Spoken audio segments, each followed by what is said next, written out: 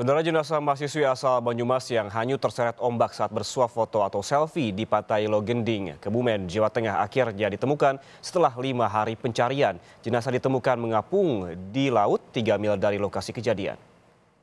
Melayu, Melayu, Melayu.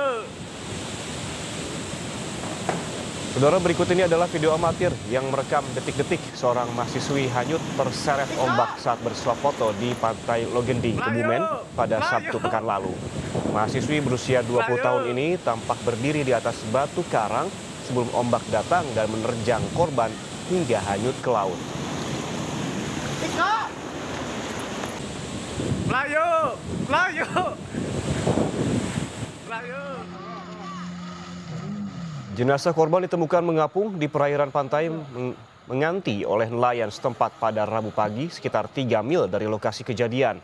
Korban kemudian dibawa menggunakan perahu ke puskesmas. Jenazah diantar ke rumah duka setelah dilakukan pemeriksaan oleh tim medis dan juga pihak kepolisian.